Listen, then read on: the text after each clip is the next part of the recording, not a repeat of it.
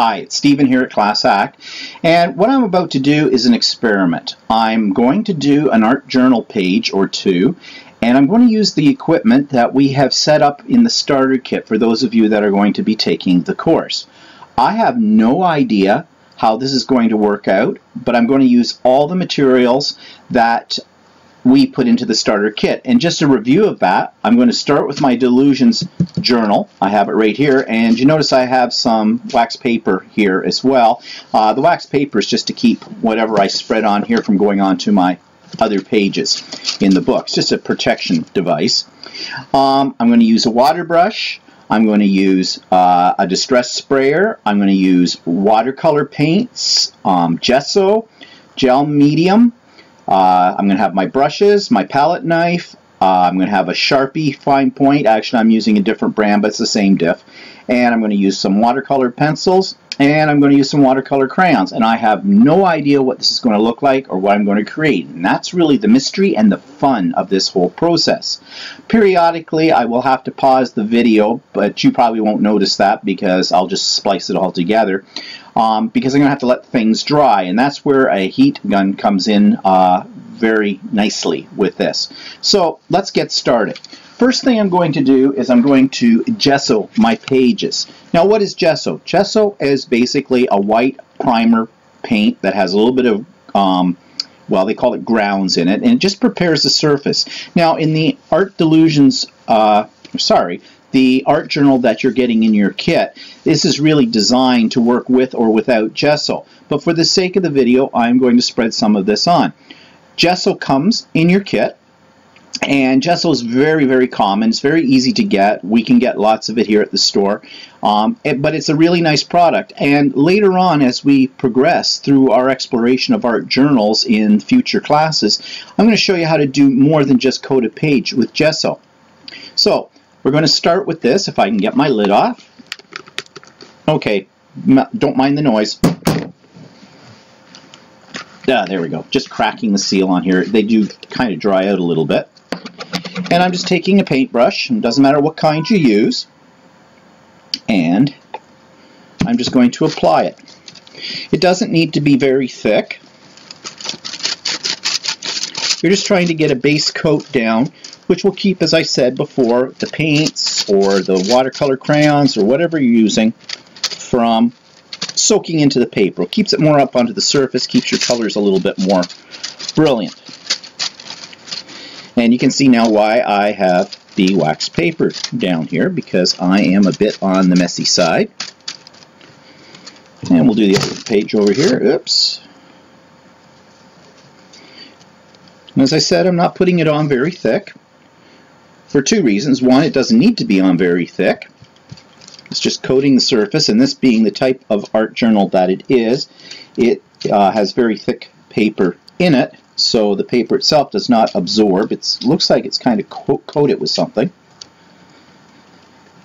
And also, it dries much more quickly when you don't put it on as thick. Okay, now, I would immediately go and wash my brush out after this, but for the sake of the video, I've just got a cup of water here off to the side, and I'm just going to put my brush in there and let it let it soak. I'll wash it up later. Uh, gesso washes out with soap and water. It's a water-soluble uh, material. And now I'm going to take my heat gun and I'm going to apply a little heat to this to get this dry. So this is going to take a couple of minutes. It doesn't take that long, but I'm going to just pause the video at this point and I'll be back. Okay, my pages are all primed now with the gesso and it's all nice and dry. And that only took a couple of minutes with the heat gun because I said I put it on fairly thin. You don't need to put it on heavy. And this just acts as a nice coating here to keep our mediums from absorbing into the paper keeping everything up on top. So one of the things that's in your kit are, is a set of watercolors. It's not this particular set, but it watercolors are watercolors. I'm sure some artists would disagree with me, but for us doing art journaling, These are not major works of art, they're for our own personal self, so whatever you have will work. And this is a little palette set, which is really easy to work with. You can buy watercolors in tubes as well, um, and they come in various grades. But this was a cheap set that I bought somewhere, and I wanted, I want to just get them wet right now so I can work with them. Um, I could dip my brush into some water and just go along like that, but what I like to do is gives them a spritz with my spray gun. And this is going to come in handy for other things, as you'll see. So it's really good idea to have one of these, and there is one in your kit. So I'm just going to spritz them up here, get them nice and juicy. And because I like blue, I'm going to start with some blue. And I'm just going to slap some blue down I do not have any rhyme or reason as to where the color is going. And I am working on two pages at the same time. I like to work on two pages, gives me a little bit more surface area. And if the paints start to dry out, just add a little water, get them sloppy again. And maybe I'm going to add a little purple in here.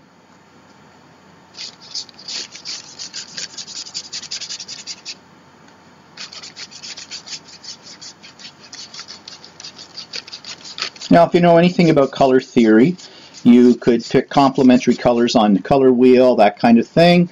Um, sometimes I do. Sometimes I check out the color wheel. But right now, all I'm doing is I'm just interested in laying down some color, creating some background to work with. When you're doing art journaling and mixed media work, one of the features of this is the fact that everything's done in layers. And since this is my first layer, I'm not being that particular as to what's happening with it. Notice my brush strokes are going all over the place. So I really don't know how this is going to turn out. If this turns out not that great, you'll never see this video. But you know, that's the fun. You never know how things are going to turn out. I'm going to use a little bit more blue in here.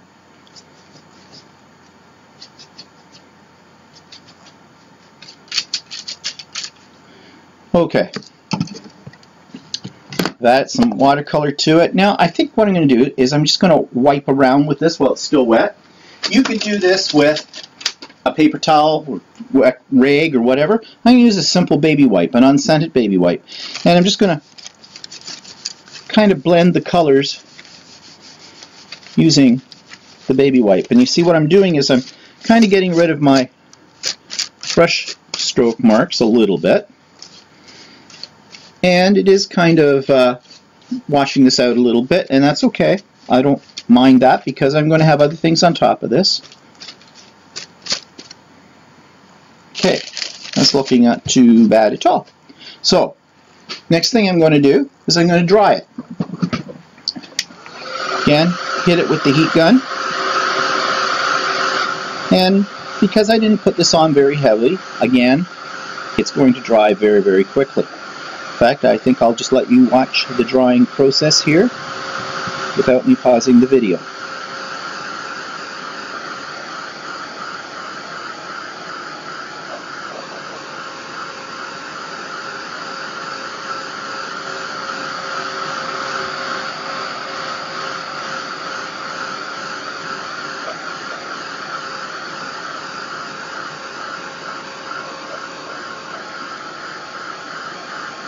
By the way, this particular heat gun I really like. It's by Tim Holtz, of course, by Ranger.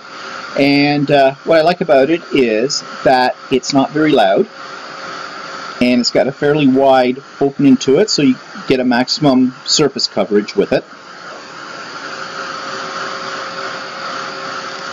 But any heat gun you've got will do. Also lift it up occasionally off your wax paper because it will your pages will stick. There, that's all there is to that. That's nice and dry. Now, I think I want to add some more color to this, but instead of adding the watercolor, I'm going to use another one of our products and that you have in your kit, and that's watercolor crayons. These are crayons that are water soluble. Now they come in all kinds of different brands. Doesn't matter what brand you're using. And they can get very expensive depending on what you, you want. Um, they can range anywhere from you know five six seven dollars right up to like 50 bucks um, I'm using what are called Neon. They are actually a better brand. They are fairly expensive, but I like them the best because they're very creamy. And I'm just going to pick a couple of colors. Uh, let's see, may add a little yellow into this too. Let's try a couple of colors to start with. And all you do is scribble.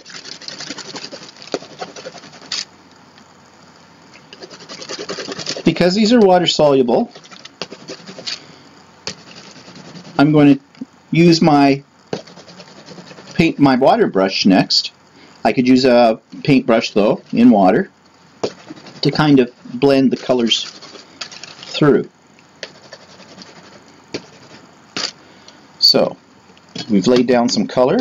Let's see what happens. I'm going to get out my water brush. And where did I put my water brush? right there. Now water brushes come in a variety of different styles. The whole idea of a water brush is it has a chamber that holds water and it's got a brush on the end and you just give it a little squeeze and water starts to run through it and you can use it like a paintbrush without having to dip it into your water all the time. And you can see what's happening here. And I'm just going to let it mix these colors. See how creamy these watercolor crayons are. And I'm just adding a little bit of texture to my page.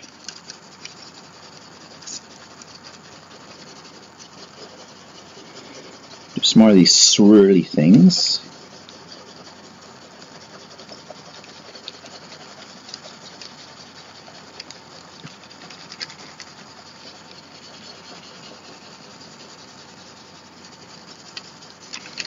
So let's see, I'm starting to get sort of a, a little marbled effect here, so I think what I'll do is let's just keep going around in circles.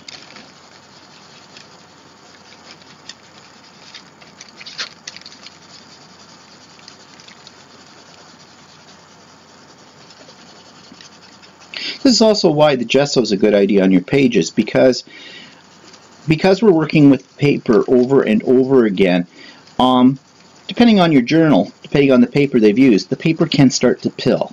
So the gesso avoids that problem. Okay, that's not looking too bad, so I'll just leave that. And let's do the same over on this side. See how nice a water brush? I don't have to constantly keep dipping it back into my water. Your kit has a water brush. Um, they usually come in several different widths. I'm using sort of a medium nib on this one. You can get a fine detailer, which is great if you want to do some painting, especially if you want to paint inside like a rubber stamped image or something like that, or you want to do some writing.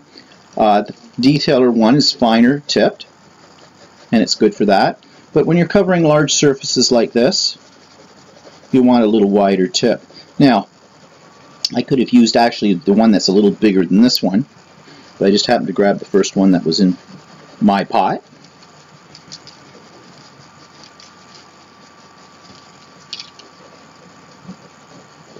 It's kind of like finger painting, except without my fingers.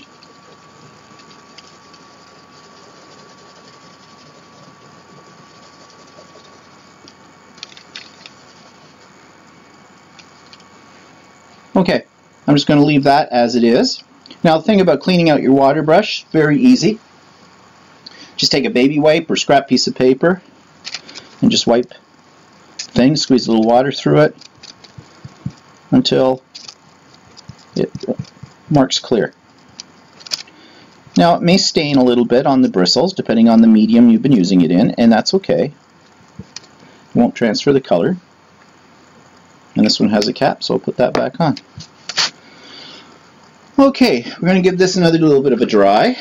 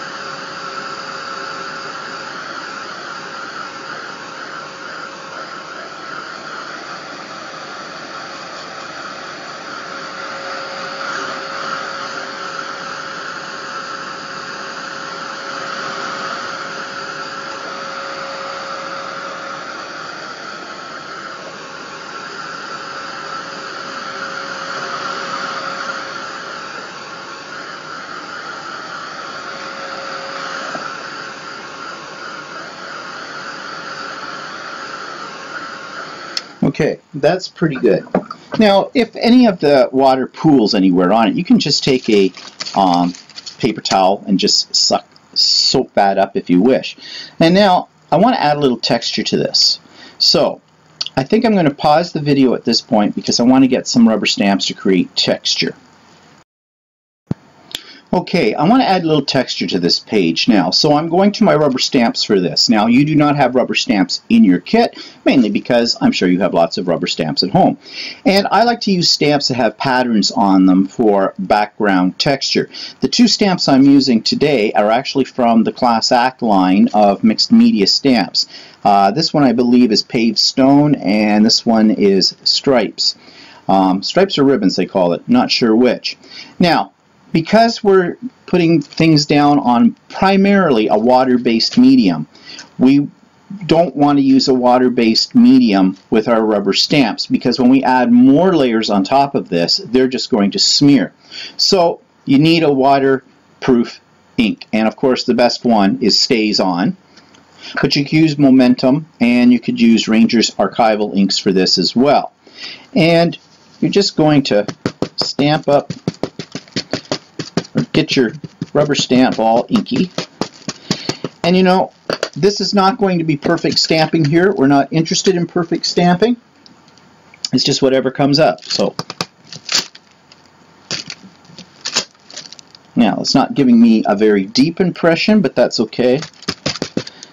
This ink pad may not be as juicy as I thought.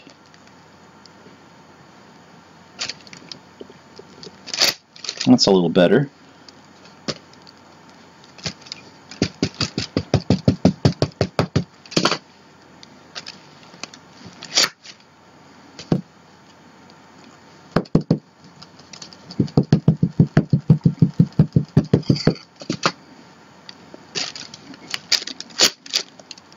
Switch. I think I'm going to switch ink pads because my StazOn doesn't seem to be that juicy, so I'm going to just go to another waterproof one, and that's uh, Archival by uh, Ranger, just the jet black. And I'm going to switch my stamps here.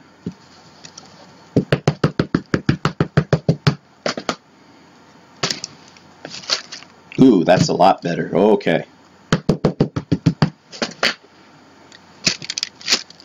But I'm not worried about the fact that the other ones were a bit fainter. That's not going to upset me. There's one that's a little fainter too.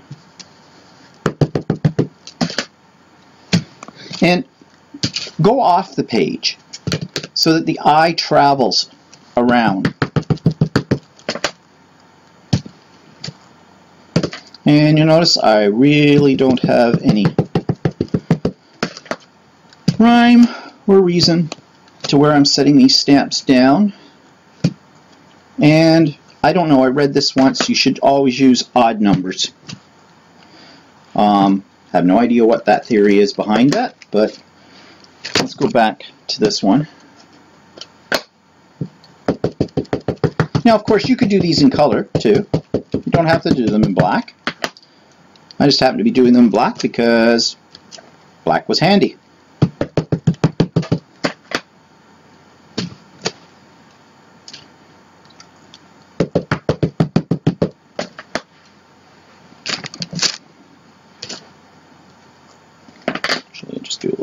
Residue off that one. Uh, off the side there, off the side there. Yeah, let's do a faint one up here. And all this is doing is adding texture, and I'm just sort of stamping off my stamp right now. Okay, so we've done that. Give these a quick wipe. I am infamous for not cleaning off my rubber stamps. And if you are particular about your colors getting blended because there's residue from another one, then you do want to clean them off. I do and I don't. It depends. Okay.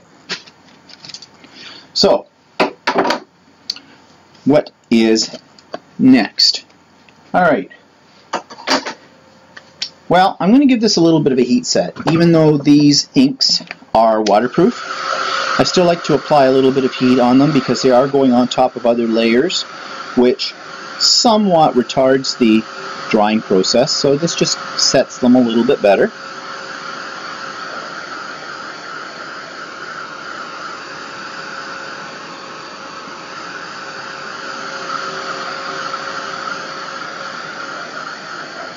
Okay.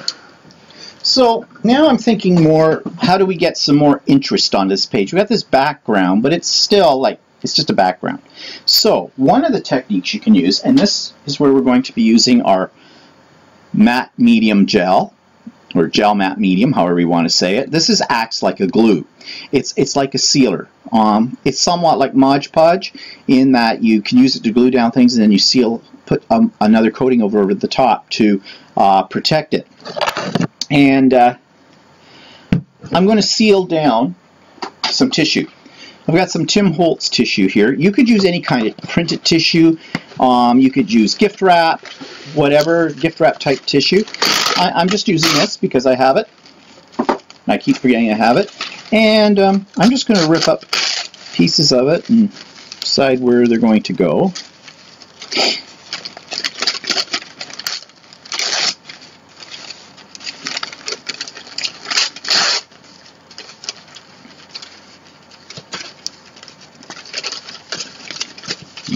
here, another piece here. Yeah, just use the hole.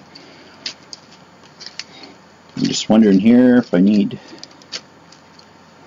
Okay, we'll start with that and see what happens. All right, so when you use the gel matte medium, you'll need a brush. That's what I'm getting off camera here. Let's move some of these things out of my way. Okay, so it's just a white pasty thing. I'm just going to put it down fairly generous into the area where I'm going to stick this next piece down.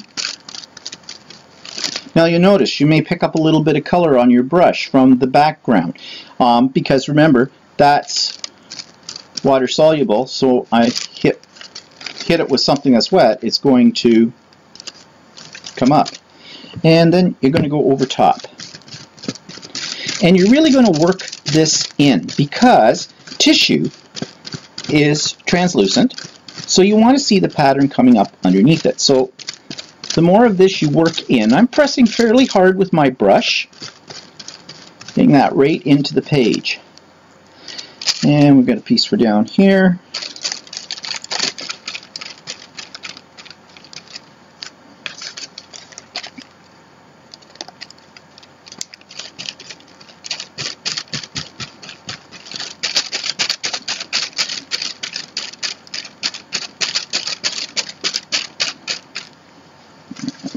Piece over here. So we'll really gloop the stuff on, if that's a word, glooping.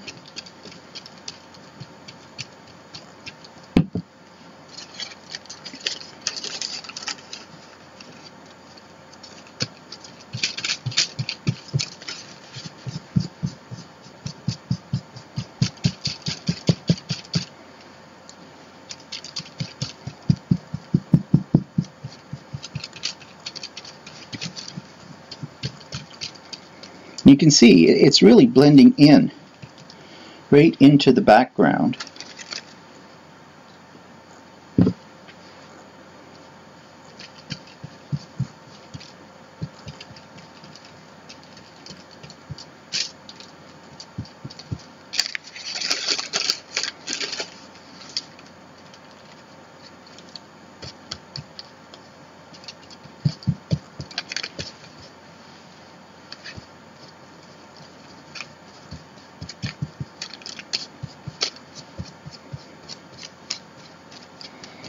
Piece that went over the binding, but that's okay. As I told you, there aren't any mistakes. It's just whatever happens.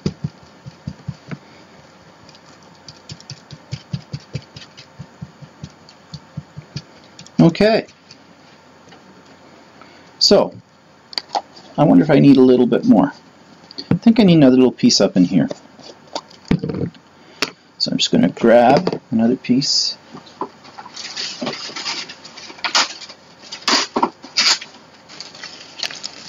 think I'm just going to put it right there.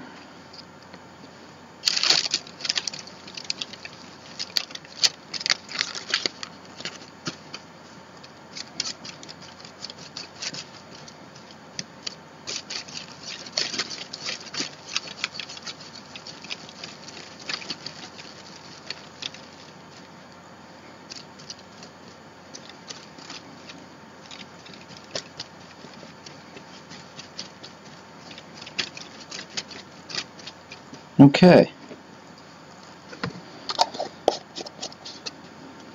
So I'm just going to put my brush in water for now until I can get around to cleaning it out because that stuff is like a glue. You don't want it to dry on your brush or you'll ruin your brush. Some people keep a separate brush for this. I don't. I use all mine. I've got this amazing stuff for cleaning brushes. It's sort of a soap and uh, I'll tell you about that another time. But right now we're going to hit it with the heat dry again. Now, the one thing about matte medium is that it, when it dries, it dries absolutely clear, but with water-soluble products like watercolor uh, crayons or watercolor paint, it will act as a bit of a resist. Sometimes. Um, I have found that that's not always the rule. Um, there are exceptions, but it will start to resist. So we're going to see here exactly how much of a resist this is created once I have this all dry. You want to make sure it's very dry because you don't want any of this peeling back up.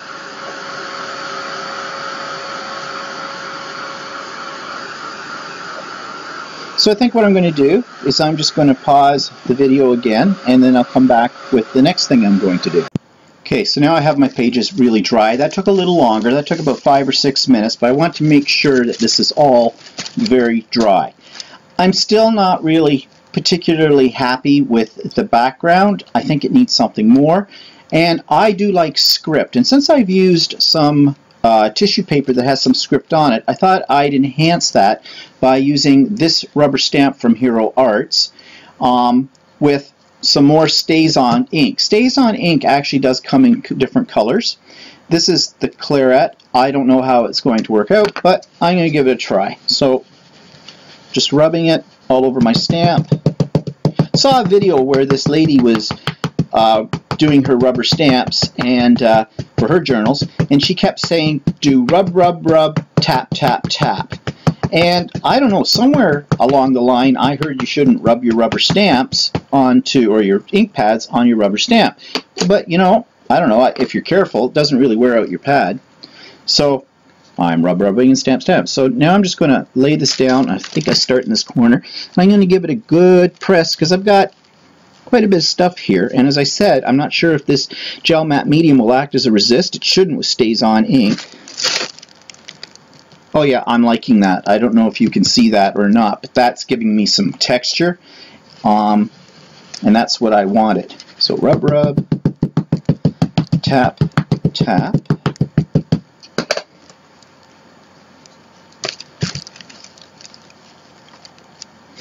I like to hold it down for a few seconds, let it get absorbed into my background. Oh yeah, I'm liking that. I'm liking that a lot.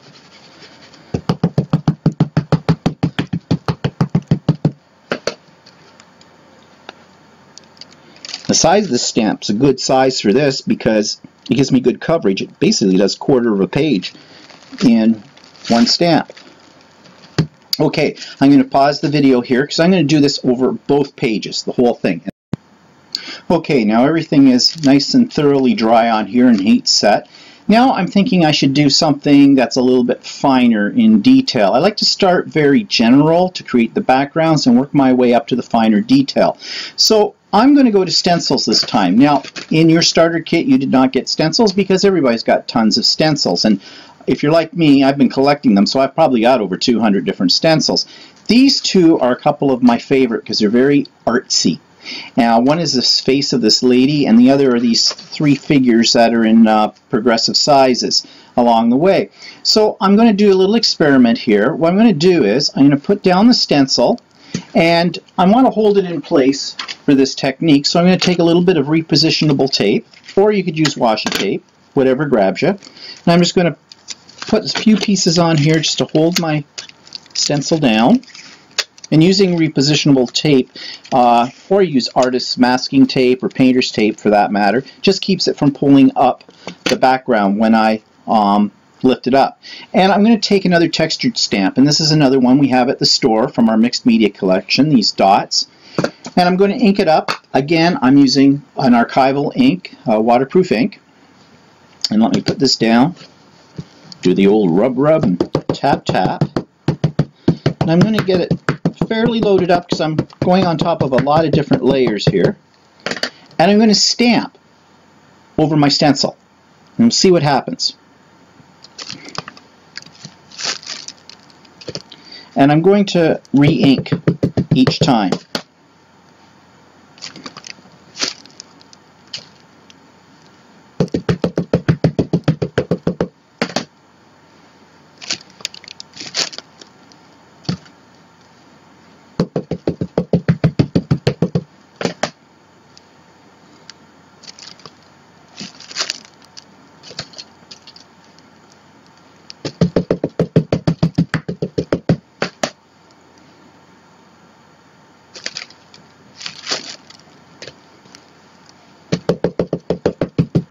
Now stencils are great because you can use paint on them, you can use your inks on them, you can use your uh, watercolor crayons or your pencils, whatever.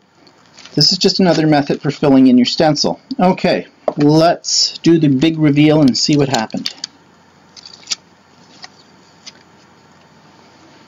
Not a whole lot. Might be the type of stencil I used, might not be. Hmm, that doesn't impress me, but it doesn't bother me either because I've got some texture. Okay, it might be this stencil. This stencil just may not be the right type for this. So, I'm going to try the same technique with this one because there's more open space on this particular stencil. And we'll see what happens with this. So I'm just going to get it secured. I'm just going to concentrate on these three figures here. And I'm going to use the same rubber stamp. So we'll see what happens with this. It may also be that I've made my background so busy that these aren't going to show up that clearly. I don't know. It's an experiment. I have no idea what's going to happen. And that's the fun. That's the fun. As I said, you can't make any mistakes. Because you're doing this in layers, you can always build on anything. I'm going to do something different with that page over there. Not sure yet. So I do this, I'm thinking.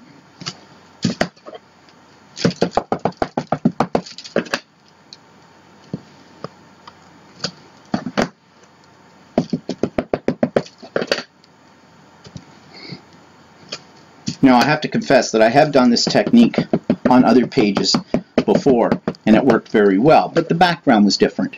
And as I said, my background may be too busy for this particular technique.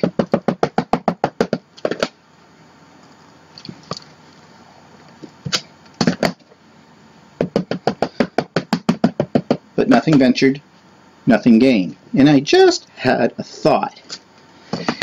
When I reveal this, and if it doesn't look that clear, if I take my black marker and go around the outline, it may make it stand out a little bit better. So let's just see here. I'm just going to peel off back of it just a little bit so I can line it back up again. Yeah, okay, that's blending into the background, not really seeing it. So I'm going to try what I just suggested. Make sure to get that back in the right state. Okay. I'm going to take my marker and I'm just going to outline and see what happens.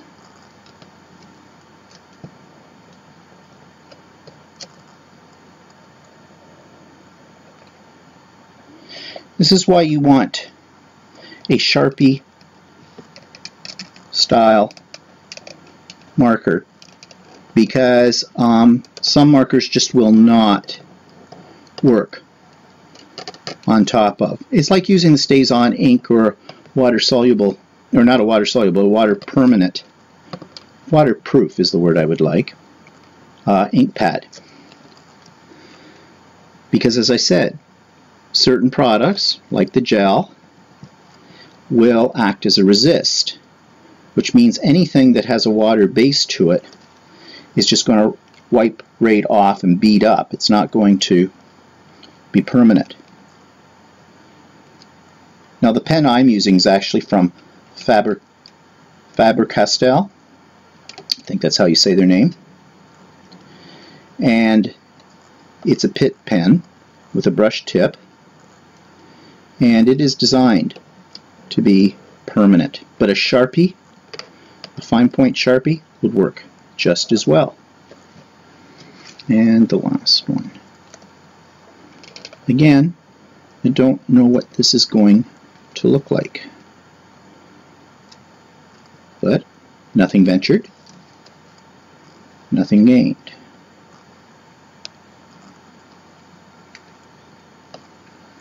Finding it a little difficult to see the edges of my stencil in this background. So I may have gone off the track a couple of times, but you know, again, I'm not going to let that bother me. I'm having fun, and that's all that really matters.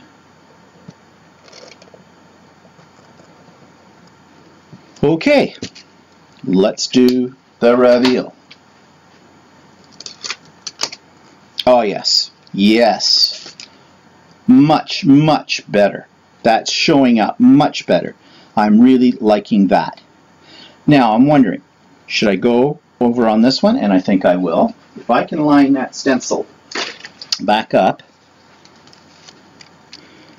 Actually, the beauty of this is it doesn't have to be exactly lined up because these really didn't show up that well, so that looks pretty good. So put it down, and I'm going to do the same thing. And I'm hoping that I'm going to get more detail.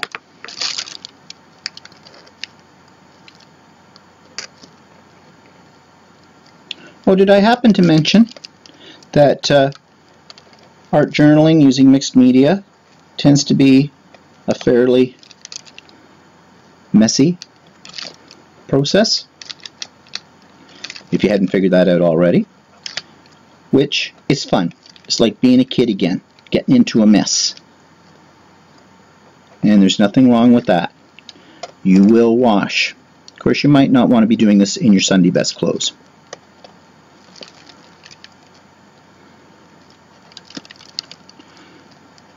And you want to make sure your work area is well protected.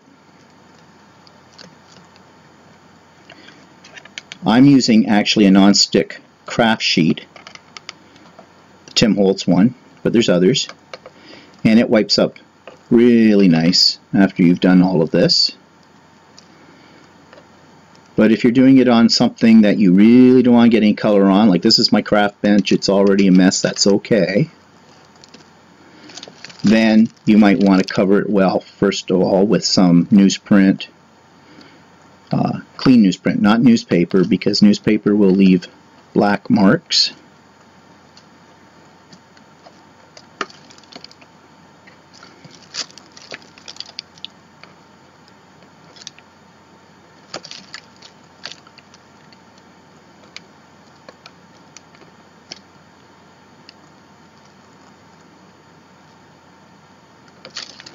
Okay, I think I've got her covered. Alright. Let's do the reveal. Yes. Yes, yes, yes. That's much better. Now you can really see the detail in there. Now, what do I want to do next? Well, next I want to take a white pencil. And I'm going to come back once I find a decent white pencil. Okay, I found a white pencil, and I was looking actually for my Stabilo pencil because they're really good on top of uh, different mixed media uh, type foundations. But then I thought, well, wait, I am trying to stay as much as possible to the materials that are in your starter kit, and one of those is a white pencil crayon. So I thought I'd use a white pencil crayon. Now, I am no artist, but I've watched people highlight things using black and white pencils, and basically, I guess it's a determination as to where you think the light would be coming in on the uh, project. Now, if my light's coming down from this direction across it, then the brightest parts are up here and the darker parts are down on this opposite side. So what I'm going to try to do is I'm going to take my water, this is a, a water soluble watercolor pencil, and I'm just going to highlight these figures first of all, and then I might add a little water to it, and we'll see. So since my light is coming in from this side, I'm going to just scribble a little white, get the dust particles off around this. And my idea here is to give it a little bit of a shadowing effect or highlighting effect.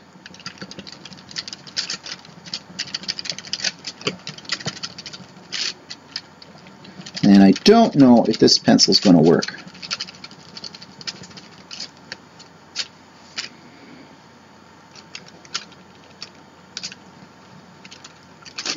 I'm not really liking this pencil. I'm going to try a different one. Um, I'm going to try, this is a Stabilo, Stabilo, I think that's how you say it, and I need to sharpen it, so give me a, okay, I've sharpened my pencil. I'm going to see what I can do here. Oh, just broke the lead on it. You want to know something?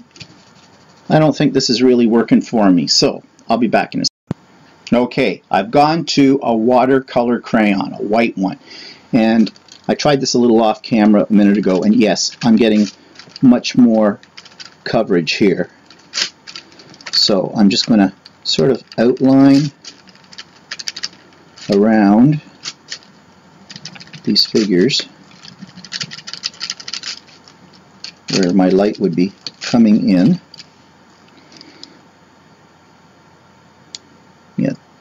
Crayon does work much better than the pencil. And that's fine. That's how you find these things out. It's all experimentation.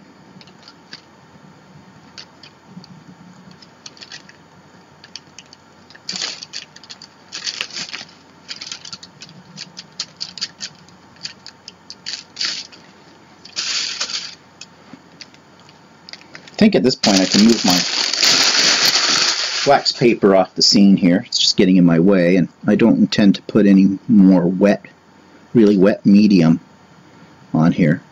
So I'm just outlining around the edge of the black with the white just to make this stand out a little bit more. Again, I am no artist at all.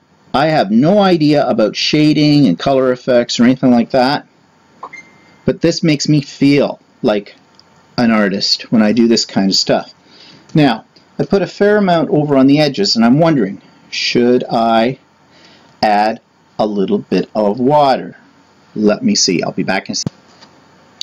Okay, so I've gone around the where I think the light's coming in on the sides of each of these stamped images uh, that I used with the stencil with the white crayon. And now what I'm going to try to do is make that try to make that a little more subtle by adding a little water. I'm just take my water brush because these are water-soluble crayons.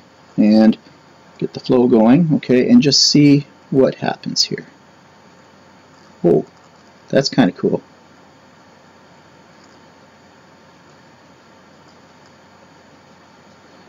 Now I am kind of going over the black line so I think I'm going to have to come back in once I'm finished this with the black marker.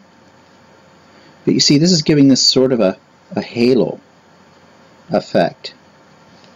And I'm kind of liking that. It's also my white's not being pure white because it's picking up some of the color from one of the other layers a little bit down here. But you want to know something? I'm not going to worry about that. Now if it picks up too much, I can just clean it off. Run a little water through to the tip.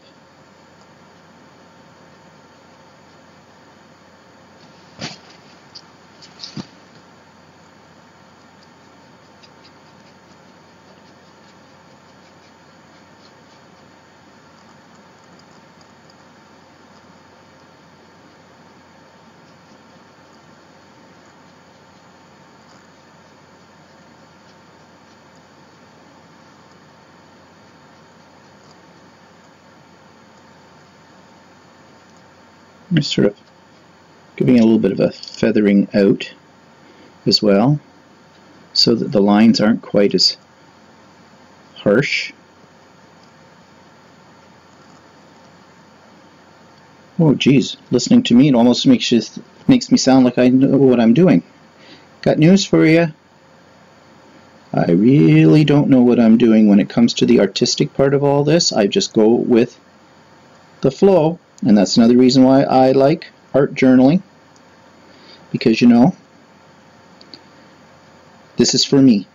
It's not for a gallery. I'm not selling it to anybody.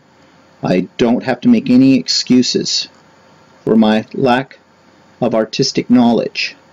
I'm just going, I think we all are born with a certain amount of creativity that we have. And anybody who says they can't create, they're full of crap. We can all create. You just have to have the guts. That's all. And realize that, hey, it's not going to be hanging in the Louvre. But that doesn't matter. It's for you. Okay. I'm liking that. I'm liking that a lot. So, I think what I need to do though, is I'm going to have to hit it with the heat gun again, cleaning off my water brush. And when I come back, I'm going to do another little experiment. Okay, while I was off camera, I decided to go over with my black marker again the outline of all the figures just to deepen it a little bit. And because I lost a little bit of it when I put the white crayon, watercolor crayon against the edges. And when I dried it, I also noticed something else. The white sort of went back to white. I said it was picking up uh, some of the color from the background and uh, it's kind of blended itself back into the background as well. So it's not quite as heavy as before, but it gives a more subtle halo. And then I got thinking, well, what if I add a little color to the dots that came from the texture stamp that I stamped inside the stencil? And so that's what I've been doing. I picked four colors here, which are colors that I already have in my background, the white, blue, a purple, and a yellow. And I just colored in randomly some of the dots on here with the crayons. And I'm just finishing up on the figures here using the yellow. I've already added the other colors. And I'm really not thinking about where I'm putting this down. I'm just wherever I see a spot that could use a little bit of color. That's where I'm adding it.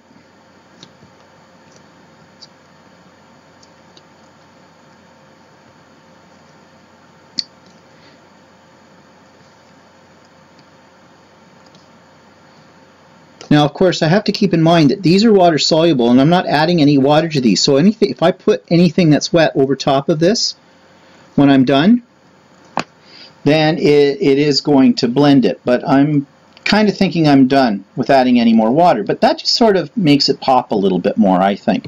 So that's okay. That was a, an interesting little experiment.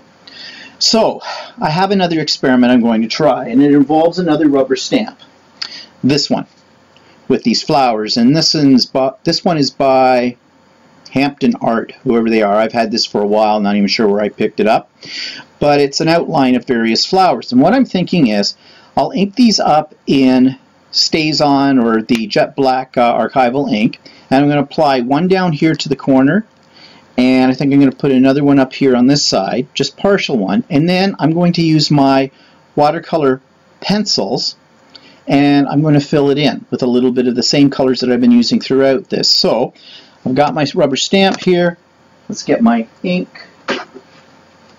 and let's see what happens. Another wild experiment. Rub, rub, rub. Tap, tap, tap.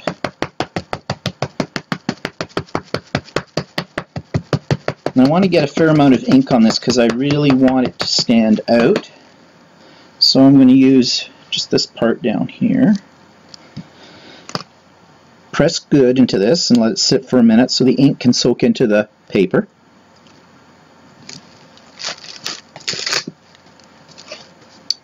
Oh, interesting. It has a background. It has a line around it. Hadn't really anticipated that, but you want to know something? That's okay. Now I'm just wondering, do I leave one there and put one up here? Or I could put down here. No, I, am going to put it up at the top. I don't know if it's going to make my balance go off, but oh well. What the heck? We'll see.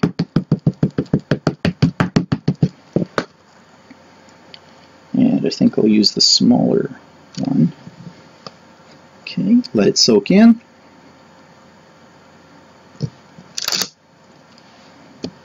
Okay, a little different. All right, so I've got that on here. So let's grab our pencil crayons. What do you want to start with? Let's start with the yellow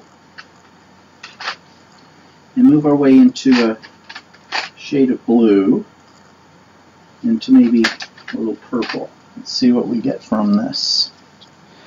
Okay, so I'm going to start here and I'm just going to color. Now because there's so many layers of things on here, I don't know how well this is going to show up.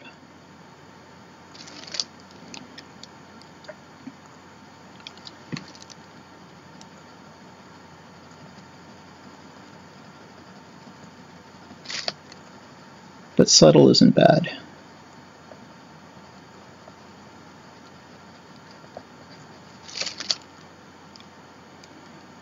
Uh, now maybe we should do some variegation. Well, let's take the purple first of all. Just going to do a little purple. Now you could use your Copic or your Spectrum Noir markers for this kind of technique too, especially if you're good at doing the shading that those types of markers are famous for. I'm not so good with that, so I'm going to stick to the pencil crayons. And I'm going to blend another deeper color in on top of that.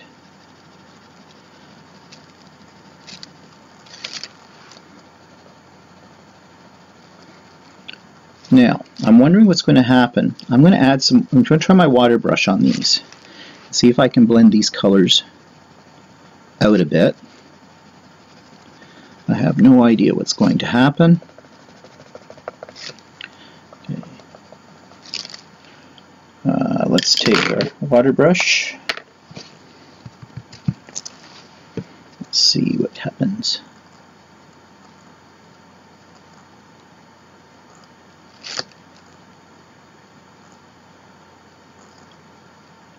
Actually, I'm kind of liking this. This is where the detailed water brush would be better, but I'm just a little too lazy to go and find it. But this is working out not too bad.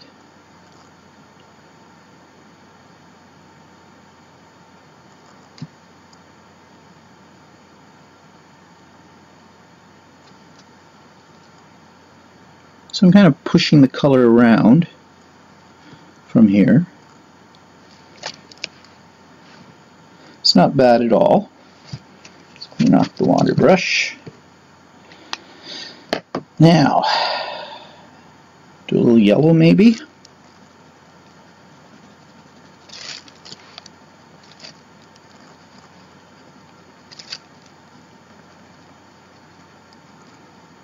I'm not being particularly careful about staying in the lines because I am going to make this blend so, okay. Okay, what's another color? Maybe another shade of yellow, maybe a little, a little deeper yellow.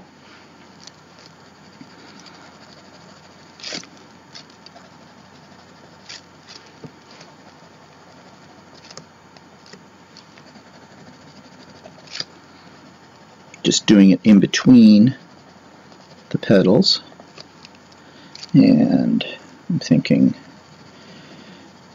scribble a little bit of color all the way around this little block that it created.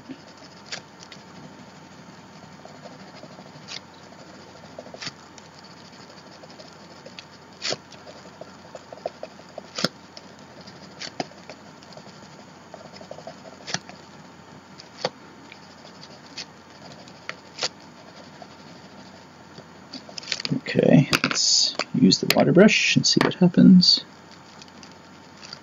And actually, I'm pulling the color out onto the background outside of that black line. Actually, I'm pulling a little bit of the reddy pinky color as well out here.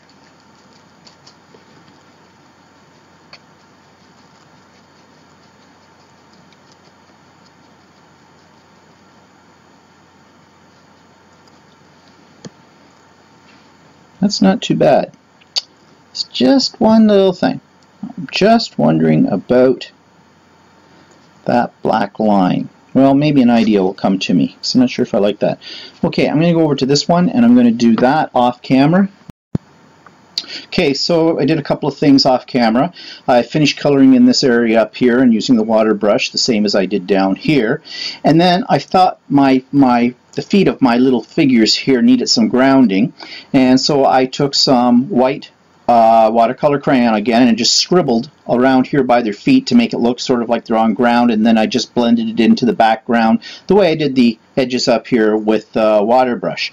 Now I'm thinking that I need something along here and along the top here. So I looked at my stamp collection and I've come up with this funky little stamp right here, these little arrows. And what I'm going to do is I'm going to ink it up with StazOn ink in blue, blue Hawaii as it's called, and just see what happens. Again, more experimentation. Might work out well, might not. Okay, so let's see here.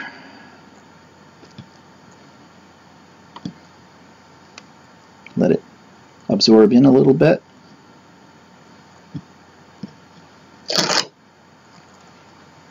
That's not bad. It's subtle. It's subtle. But that's okay. I don't want the eye of the viewer to go right to the bottom first thing, so subtle is good. And we'll do the same up here.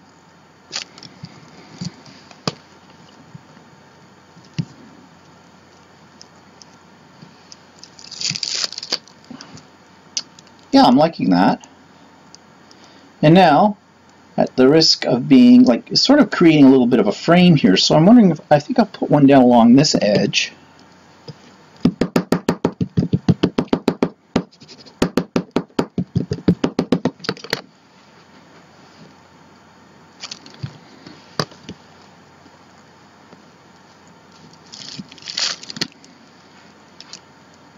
Yeah, I like that. And I think I'll put one along this edge. And it's sort of, this is sort of building like a little frame around the two pages. It's kind of the technique I like to do with my backgrounds on my scrapbooking as well.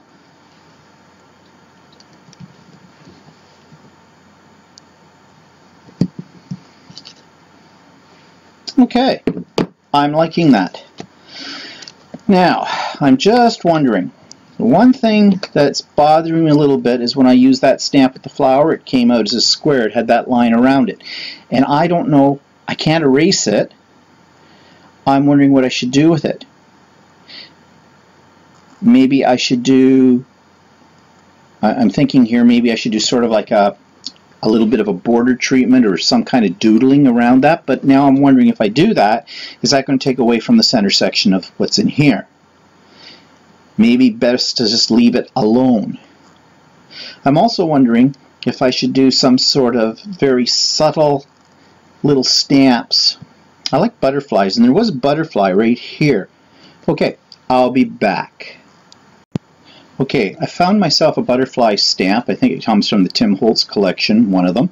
And I'm going to use the StazOn ink again, and this time in the Gothic Purple. And I just experimented by stamping one down right here, if you can see that. Here it is.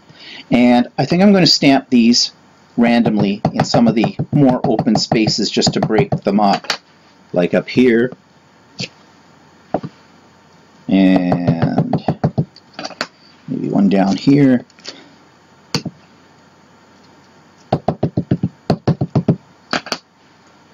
Up here.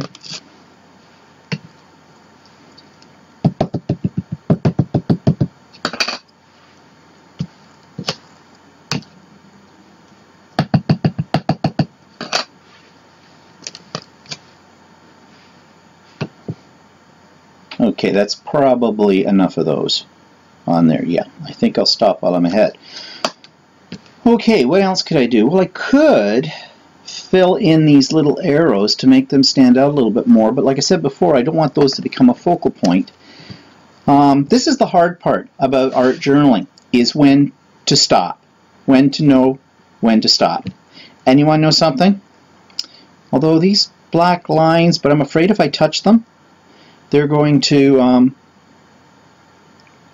really, I'm going to do something that's going to make them stand out. But you know, I can't leave them that way. I'm going to try the white watercolor crayon again. And I'm going to try what I did the last time. I'm going to go along the edge. And I'm going to let it blend in a little bit more. And I'm going to do the same up here.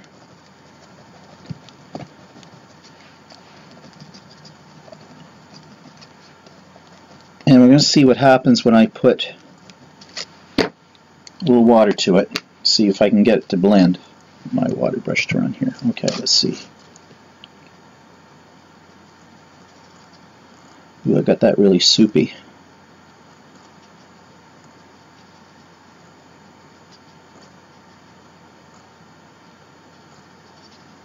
Just trying to blend it out so it's not a harsh line. I mean, it's not going to cover up that black line completely.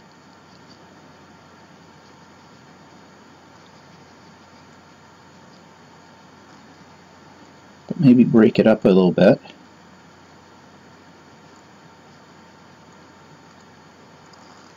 Okay, let's clean off the water brush. Let's add a little heat here to it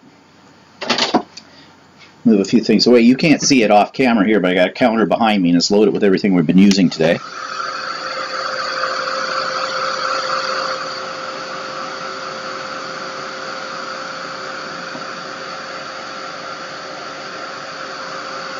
Still going to see the black line because when this dries, it's becoming somewhat transparent. But I think it is breaking it up a little bit, so it's maybe not as harsh.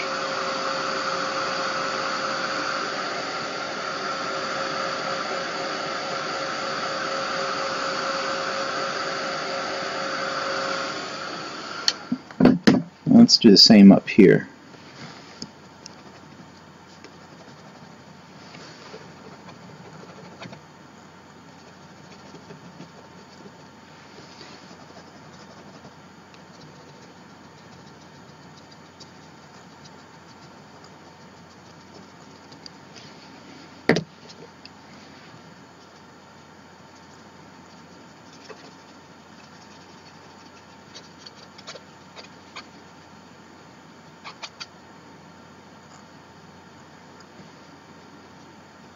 Got a little bit more color than I had on the last one.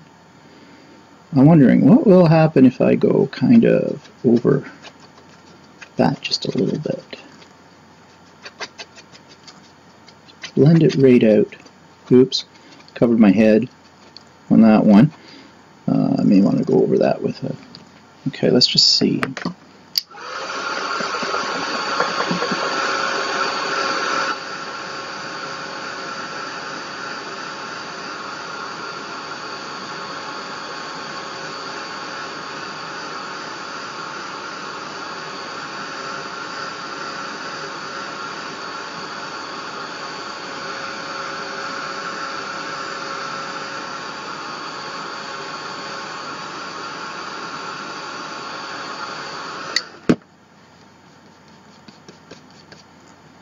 Let's making that a little bit more subtle. I think what I'm going to do is I'm just going to add a little right over top of this.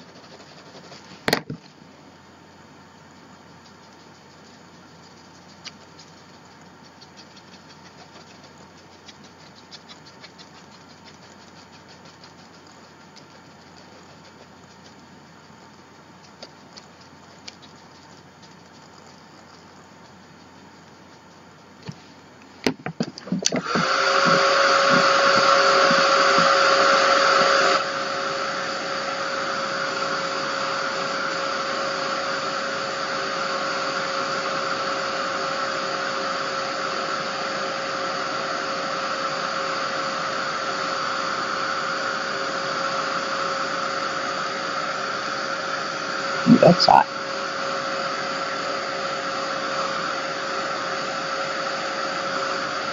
Okay, it doesn't get rid of the black line that's there, but it makes it melt into the background a little bit more subtly. Okay, now, there's one thing before I forget that I need to do after that is grab my black marker and right here I kind of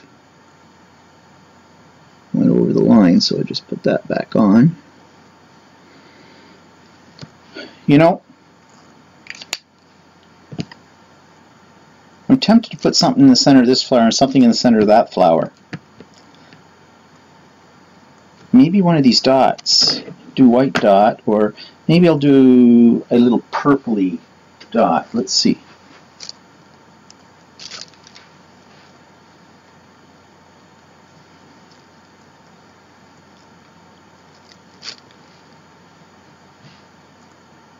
I don't know if that did much.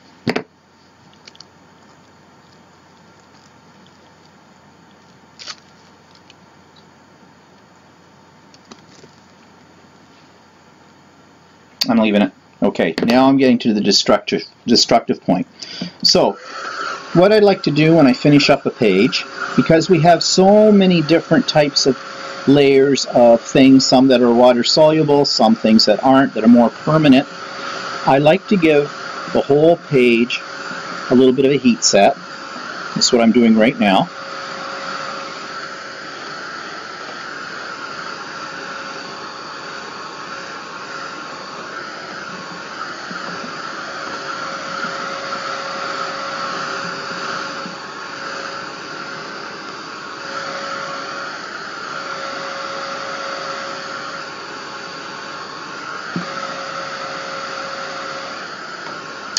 Okay, I've given it heat set, and now what I'd like to do, move a few things out of the way, and don't mind me for a minute, I just need to go down here into my supply list and find what's called fixative.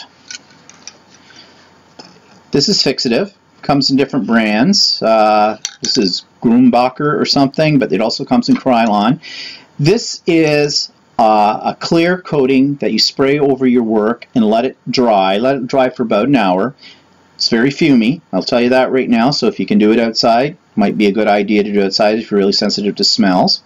And you just lightly spray this over the top and it sets everything. So the stuff that's water soluble will now stay on the page and also will help to keep your pages from sticking together um, when you close up the journal. So just before I spray this on, just going to let you have a little closer look here at what we've done. Take the glare off. Oops. Let me move my water bucket. So just to look all the way around. Remember, we started with the basic items that are in the starter kit.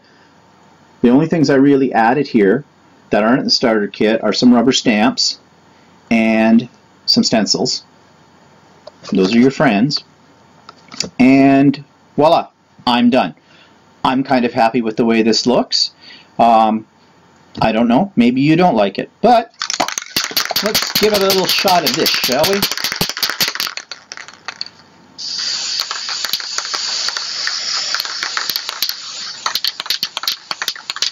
And good thing we don't have smell-o-vision because this stuff's really smelly.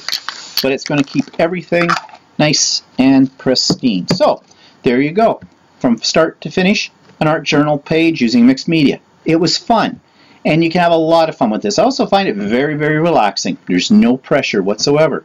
So I hope you decide to um, take more of our classes with this and we'll see you next time.